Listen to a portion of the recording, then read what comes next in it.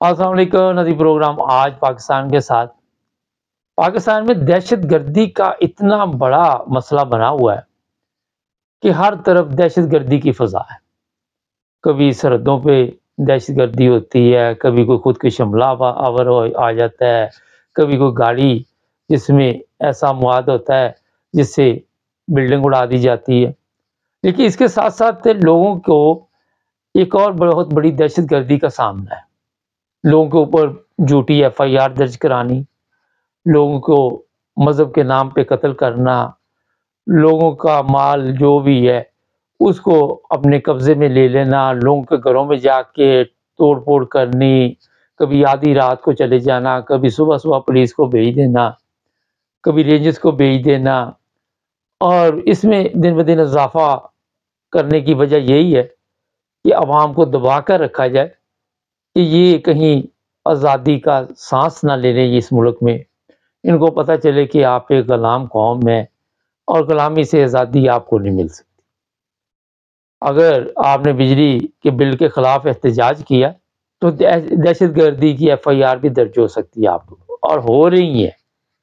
اگر پیٹرول مہنگا ہو گیا تو آپ نے احتجاج کیا پرامن احتجاج۔ اب غریب بندہ جس کے پاس پیٹرول کے پیسے نہیں، اس نے کون سا اتنا بڑا وہاں پہ جا کے کوئی اسلام آباد میں پارلیمنٹ ہے اس کے سامنے اپنے آپ کو کوئی بم لگا کے تو اڑا لینا ایسی کوئی بات نہیں ہے۔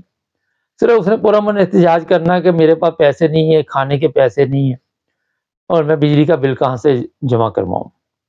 اس پر ایف آئی آر درج کر کے اس کو اندر ڈال دو تاکہ لوگ کو اپنا احتجاج بھی نہ کر سکے پورا من احتجاج پر بھی پابندی ہے۔ ہر طرح کا یہ کر رہے مگر پاکستان میں اس وقت ہر طرف لوگ سڑکوں پہ نکلے ہوئے ہیں۔ احتجاج بھی کر رہے ہیں، غصے میں بھی ہیں۔ پولیس والوں کی پٹائی بھی کر رہے ہیں۔ پولیس والے وہاں سے دوڑ بھی رہے ہیں۔ اور ایسی ویڈیو بھی میں آپ کو دکھا سکتا ہوں، ہمارے پاس سوشل میڈیا سے ملتی رہتی ہے کہ فوج کی گاڑیاں گزرتی ہیں تو لوگ ناراضگی کا اظہار کرتے ہیں۔ ناصرہ جوید صاحب جج تھی، جسٹس، ریٹائر ہیں۔ اور آپ صاحب ان کو جانتے بھی ہیں۔ ان کے گھر پر بھی دہشت گردی کی گئی تھی جب آدھی رات کو، وہ جو ناملوم افراد تھے وہ پہنچ گئے اور پھر ان کی بیٹی یا وہ تھی یا کون تھی، وہ بھی منظر عام پہ آئی تھی۔ اب ان کا ایک بیان آیا کہ یہ جو دہشت گردی ہے، اس کے پیچھے انہوں نے بھی اسی کا ذکر کیا جس چیز کے نعرے لگتے ہیں۔ اور انہوں نے بڑے احترام کے ساتھ کہا کہ دیکھو، آپ سرحدوں کی حفاظت کے لیے آئے اور سرحدوں کی حفاظت کریں یہ ان کا بیان جو سوشل میڈیا پہ چل رہا ہے، وہ میں تھوڑا سا آپ کو بتا رہا ہوں۔ وہ کلوا ہیں، وہ بھی سڑکوں پہ آئے ہوئے ہیں۔ وہ کہتے ہیں، جناب، یہ جو ہماری عدلیہ ہے، یہ عدالتیں ہیں۔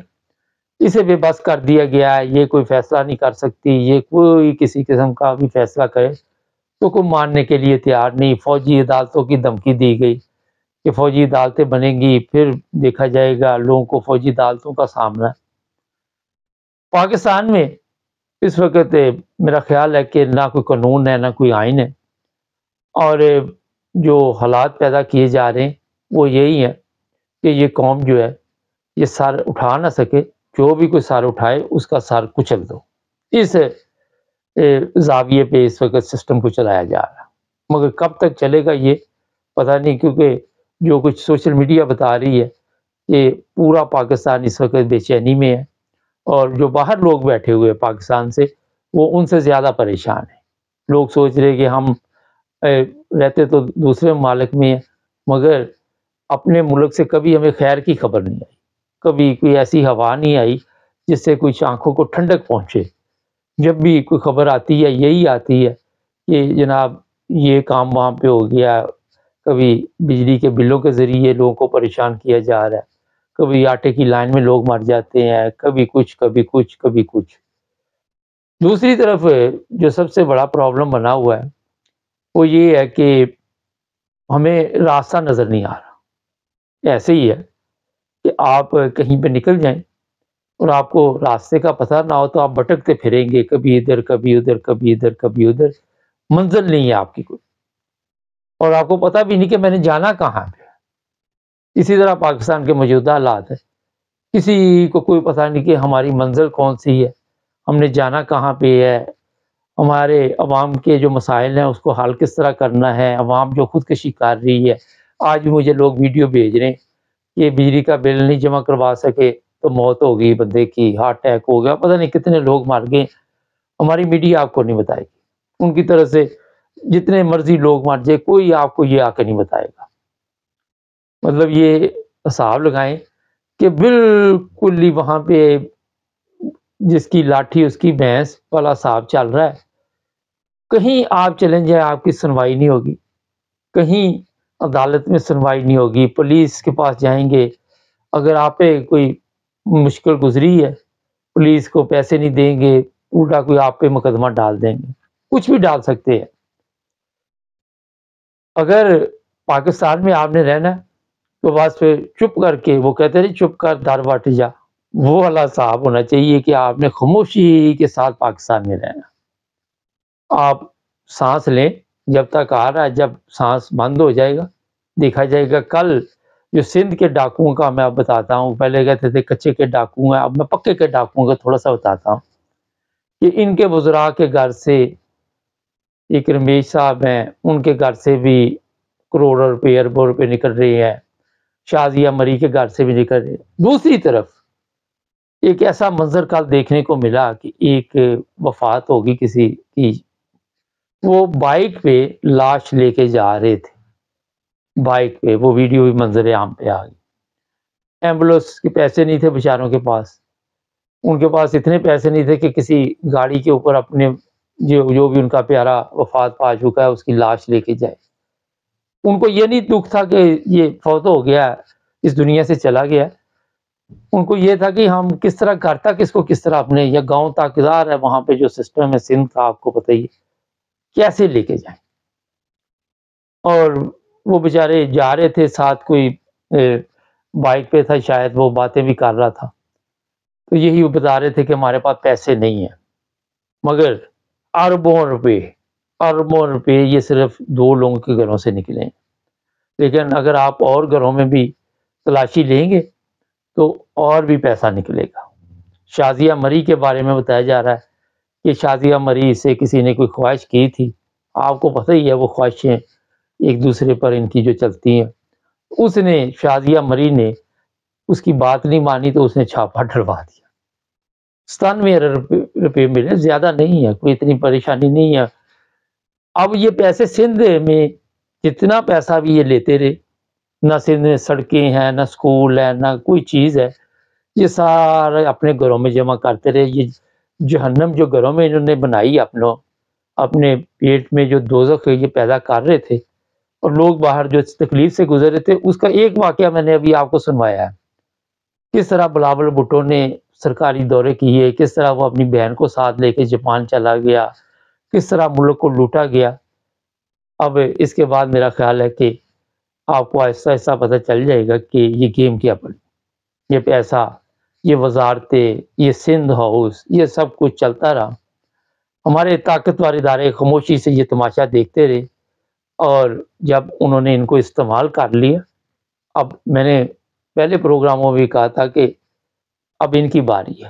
وہ پنجابی سے بڑی مثال بنی دی کدی دادے دیاں کدی پوتے دیاں اب ان کی کمبختی آنی ہے۔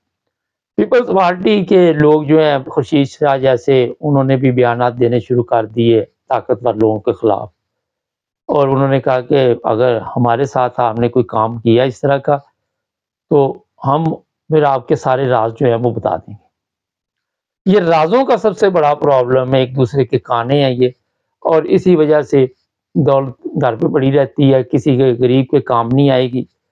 اب یہ حساب لگائیں یہ دو لوگوں کے گھروں میں جتنے ارب روپے ملے ہیں، سندھ میں اس کی حالت سندھ کی بدلی جا سکتی تھی اگر وہاں پہ خرچہ ہوتا۔ مگر انہوں نے، کیونکہ خرچہ کرنے کی ضرورت نہیں، اور یہ بھی میں بتا دوں، یہ حرام خور خود بھی نہیں کھا کے ان کو نصیب ہو سکتا ہے یہ سب کچھ میرے کئی لوگ ادھر مجھے لکھتے تھے کہ حرام خور لفظ ٹھیک نہیں۔ مجھے بتائیے ستانوے کروڑ ستانوے ارب روپیہ روپیہ یا ساٹھ ارب روپیہ یا دوسرا تیسرا جتنا بھی لوگوں کے گھروں میں مل رہا ہے، یہ بتائیے کہ یہ حلال کے پیسے ہو سکتے ہیں۔ یہ حلال کی کمائی ہو سکتی ان لوگوں کی؟ ایک سوال ہے۔ جو کچھ پاکستان میں ہوا، رات کو بارہ بجے عدالتیں کھلی، رات کو ججوں نے فیصلے کیے، ابھی یہ جو جج ریٹائر ہوں گے، ان کے گھروں میں سے کیا نکلتا ہے؟ بعد میں آپ کو پتہ چل جائے گا۔ کہاں سے یہ پیسہ آیا؟ کن لوگوں نے دیا؟ بڑی طاقتوں نے۔ عمران خان چیختا رہا، چلاتا رہا، مگر کسی نے عمران خان کی بات نہیں سنی۔ کیونکہ ارب، اربوں روپے پڑے ہوئے تھے گھروں میں، اور عمران خان کو اکیلا کر دیا گیا۔ اور یہ سوچا گیا کہ شاید عمران خان کو ختم کر دیا جائے گا، یا کسی نہ کسی طرح پوری کوشش کی گئی۔